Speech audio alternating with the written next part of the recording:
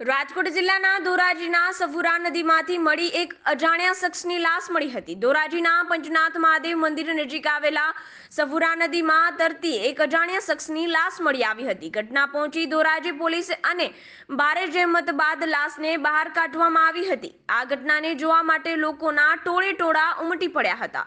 Dhoraji police station લાશનો કબજો લઈને ધોરાજી સરકારી હોસ્પિટલમાં પોસ્ટમોર્ટમ અર્થે લાશને ખસેડવામાં આવી હતી. આ લાશ અને મૃત્યુનું કારણ અકબંધ છે. ધોરાજી પોલીસ તપાસ બાદ જ ખબર પડશે કે મૃત્યુનું કારણ શું છે.